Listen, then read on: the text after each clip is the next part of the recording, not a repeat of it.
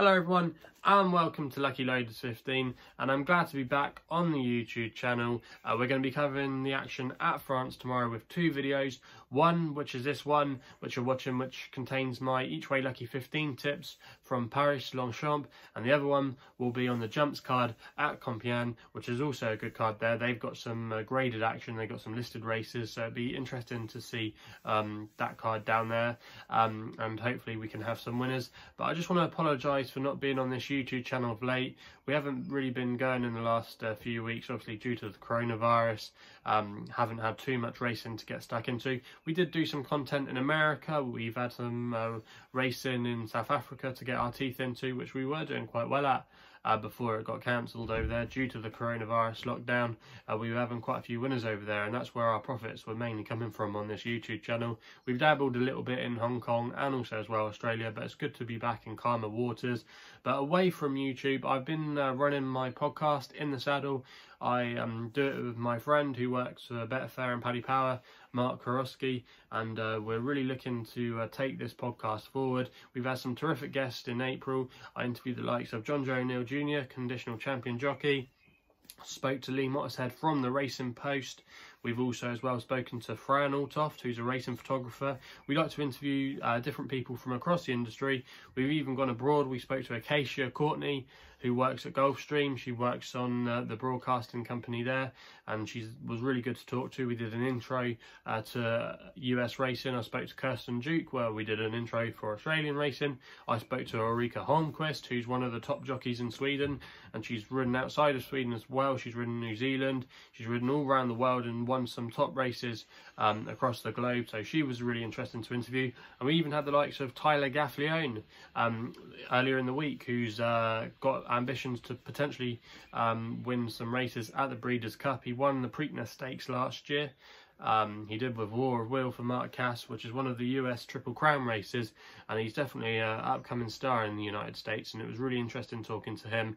And we've got some great guests lined up and good content moving forward. And if you want to listen to that podcast, uh, we're now available on Apple or iTunes. Uh, we're available on Spotify, SoundCloud, Podbean. I'll leave the links um, in the description below. And if you can go over there, give us a follow, give us a review. All your feedback is really appreciated. So hopefully um, you can go and check that out and uh, hopefully you'll be interested to listen uh, to some of those podcasts but we'll get straight into the tipping end of things now and we're going to be starting in the opening uh, race at uh, Paris Longchamp tomorrow in the 9.55 the Prix Saint de Georges awful French pronunciation there. Uh, it's a Group 3 contest, a sprinting race, and I thought Gold Vibe could be the way to play here for Pascal Bary and Cristian Demuro. Round about a 4 to 1 shot at the moment. And he brings some of the best form on offer, really. He finished sixth in the Abbaye last year behind Glass Slippers, and they had form tied in before that when he finished third uh, in the trial for that race. But um, I think the ground conditions were against him that day. It was soft, and a lot of his best form has come on a decent surface.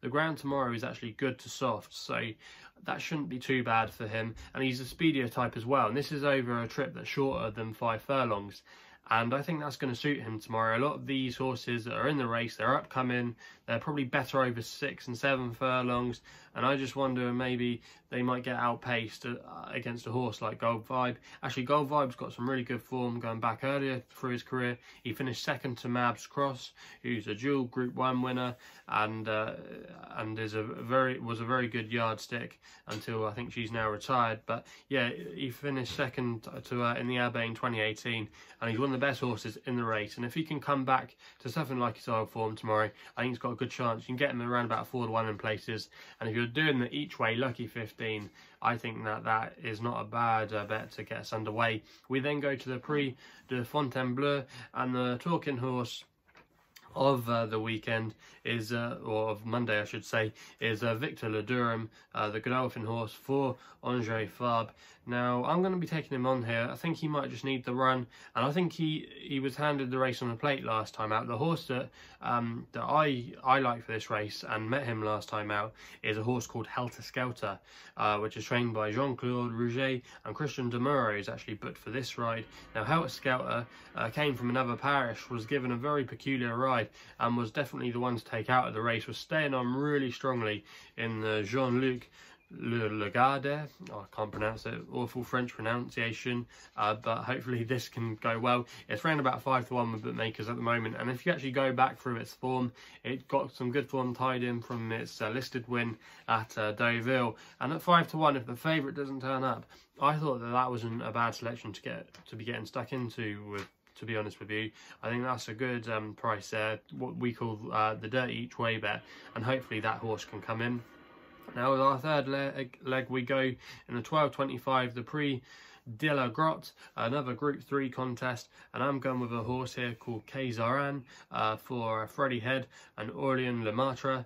Now this horse is a daughter of Kingman, and if you actually look on the downside, she's a, out of a Dubawi mare, so uh, she's got an impressive uh, breeding, and she's in the personal colours of Sheikh Mohammed Al Maktoum tomorrow. Now this horse won a conditions race at Chantilly, Chantilly last time out in really impressive style, and I think um, the further this horse goes up in trip, the better. She looks a very classy individual. And even though this is a stepping up in grade, you can get around about two to one in places. I think she's the one that's on the upward curve, and I would be against the the main favourite for the race, even though she does have good form as a two-year-old. I would just like to maybe take her on with this horse that looks really impressive and could be going places. Now the other horse uh, for our final leg I think is a little bit outside of here in the Prix de Harcourt Group 3. Now I know Sottsass is going to be favourite with a lot of people. Obviously his arc run last year is the best form on offer. But I'm just wondering over a trip over a mile and two, this might be on the short side for him and he wants maybe a bit more of a stamina test. So that's why I'm going to take a chance on Simona here, who's been running really well for uh, Francois Henri, Henri Graffard, which is uh, around about 11-1 at the moment. And they've booked Christophe Soumillon on tomorrow, which is an interesting jockey booking. She won the Prix de d'Exprès at Saint Cloud last time out from the front. And before that, she won at Compiègne over slightly shorter from the front. And I just think if they get into a handy position tomorrow, Soumillon might be able to dictate the race. And if there is um, if there is is a lack of pace in the race, she'll probably get her own way. And I think um, that tactic could suit her well tomorrow in this race. And at a double figure price, I think she's a good um, each way bet to have in a multiple bet like this. And I wouldn't be at all surprised if she won. Um, but for me, I think Sottsass, is too short on the betting. Should be short, uh, shouldn't be shorter than even money in my opinion. I think he should be possibly more of a six to four chance. Obviously, I respect him with his connections and the form he does bring to the table. But for me, I think he's too short. But hopefully, uh, my French knowledge from my my work at Sky Sport Racing can pay off tomorrow and hopefully we can have some winners. So if you haven't done so already, please subscribe to my YouTube channel here at Lucky Loaders 15. Also as well, make sure to go and check out my podcast of In the Saddle. If you haven't done so already, please gamble responsibly and we'll be seeing you soon.